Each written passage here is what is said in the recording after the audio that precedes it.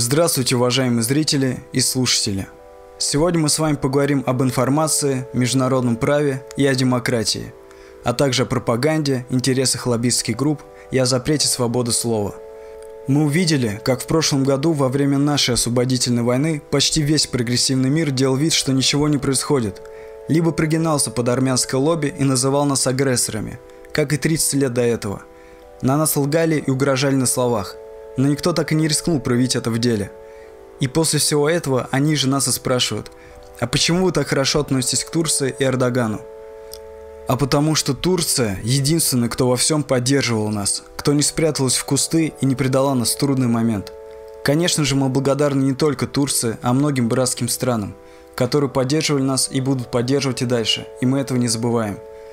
Огромная свора продажных военкоров, репортеров и журналистов была со стороны Армении в Карабахе и кричала, как Азербайджан наносит удары по мирным жителям Ханканди, что после в эфир брали все известные зарубежные и российские СМИ и продолжали этот крик, а потом передавали эту эстафету в руки политиков, которые делали этот крик международным.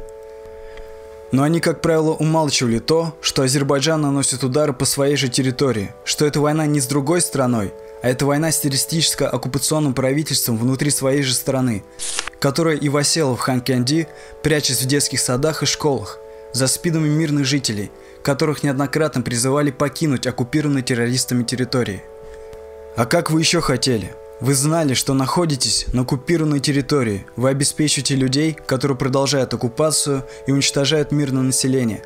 И какое отношение после всего этого вы к себе хотели? Это примерно как если бы когда Гитлер оккупировал советские деревни, вырезая женщин, детей и выгоняя все население, вдруг стал плакаться всему миру о том, что вот какой плохой Советский Союз бомбит оккупированные им же деревни. Сам же Запад последовательно молчал о том, как это террористическое правительство в сотрудничестве с правительством Армении намеренно уничтожало мирное население Азербайджана, которое находилось вне зоны боевых действий. Лишь к окончанию войны и после победы вдруг Путин согласился с нами и стал неоднократно говорить «Карабах – это Азербайджан». И вдруг его журналистские хлуи внезапно переобулись и стали поддерживать Ильхама Алиева и говорить «Какой он настоящий и последовательный мужик, не то что этот предатель Никол Пашинян». Хотя до войны они говорили иначе. И если мы посмотрим на мир в целом, то эти процессы происходят не только у нас. Как говорил Натан Ротшильд, кто владеет информацией, тот владеет миром. И мы это увидели на деле во время освободительной войны, что владеющие информацией могут преподнести любую ложь как правду и вкладывать ее в сознание всего мира. Но то, что происходит сейчас, это уже ни в какие рамки не входит.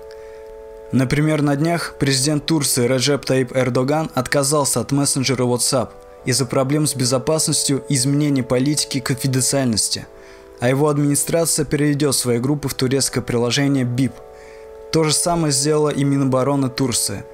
Офис Эрдогана в своем заявлении также призвал журналистов перейти на БИП. Этот шаг стал частью масштабной кампании Эрдогана против зарубежных соцсетей. Ранее пользователи WhatsApp обязали делиться информацией с социальной сетью Facebook, владеющей контрольным пакетом акций WhatsApp. Также президент Турции зарегистрировался в мессенджере Telegram, пока что единственной глобальной и незапрещенной свободной платформе на сегодняшний день – в предыдущем ролике о Трампе, Байдене и Эрдогане, о том, что Байден хочет свергнуть Эрдогана, были комментарии, что, мол, это неправда. Байден навещал Эрдогана, когда тот болел, и что они здороваются и поздравляют друг друга. Но те, кто так мыслит, это слишком чистосердечные люди.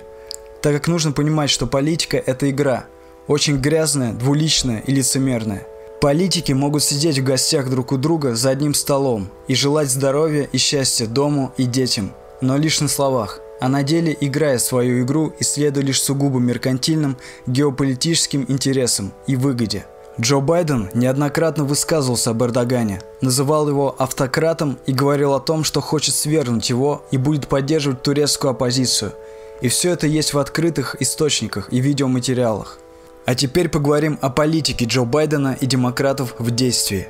9 января Твиттер навсегда заблокировал аккаунт действующего президента США Дональда Трампа, якобы из-за призывов к беспорядкам. В прошлом ролике мы говорили о том, что так называемый захват Капитолия – это просто постанова, наподобие поджога Рейхстага и провокация, от которой выиграли только демократы. Именно Твиттер Трамп использовал как основную площадку для выражения своего мнения. На его аккаунт были подписаны почти 89 миллионов пользователей. Сразу после блокировки в Твиттер были заблокированы его аккаунты Facebook и Instagram. Как пояснил основатель Facebook Марк Цукерберг, Трамп намерен использовать свои полномочия для того, чтобы помешать Байдену, и существуют большие риски в случае использования президентом сервисов компании. Вслед за этим аккаунт Трампа заблокировали Snapchat и Twitch. Заблокирован и аккаунт штаба Трампа в Twitter, после того, как в нем было опубликовано измененное изображение логотипа платформы с красной птичкой, на которой были изображены серп и молот, с намеком на диктатуру. Связанные с Трампом аккаунты заблокировали также в YouTube – были и новости о том, что YouTube не выводит в тренды и рекомендации, а также банит ролики в поддержку Трампа. Также голосовой и видео мессенджер Discord, фотохостинг Pinterest и другие площадки. А Google и Apple вообще удалили из своих магазинов соцсеть Parler, в которую планировали перенести общение Трамп и его сторонники. И как по принципу домино, Трамп и его сторонников стали массово блокировать во всех глобальных соцсетях, даже просто за поддержку Трампа. И мы увидели, какая есть на самом деле демократия в США. Страна, которая считается венцом демократии и несет эту демократию во все непослушные страны на танках и истребителях. Вдруг стала закрывать рот первому лицу страны и всем его сторонникам, которых десятки миллионов. Как на деле, никакой свободы слова нет. Все массовые социальные сети просто добровольно прогибаются под один центр силы – Хотя явная причина была в том, чтобы не дать Трампу и его сторонникам оспорить голосование, которое проходило с огромными нарушениями, а лучший способ – это дискредитировать лидера и его сторонников, обвинить в попытке госпереворота, после чего Трампа предали даже самые близкие сторонники, такие как вице-президент Майк Пеннис. Когда такие же протесты происходят в странах СНГ, то США называют это движениями за демократию, а когда то же самое происходит в США – то это сразу попытка госпереворота и терроризм. А притворители так называемой демократии на улицах, движение антифа, антифашисты – это и есть настоящие фашисты. И в других странах их бы считали организованными преступными группировками. Но в США они борцы за свободу. Страны, которые больше всего кричат о правах человека и свободе, сами эти права попирают и говорят о свободе только тогда, когда им это выгодно – это и есть настоящий современный цифровой концлагерь. Так какие выводы мы можем сделать?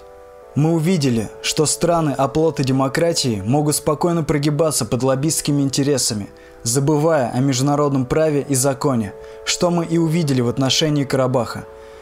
А еще эти страны могут искажать информацию также под интересами лоббистских групп и предоставлять ложь как правду, а пропаганду как якобы независимую журналистику.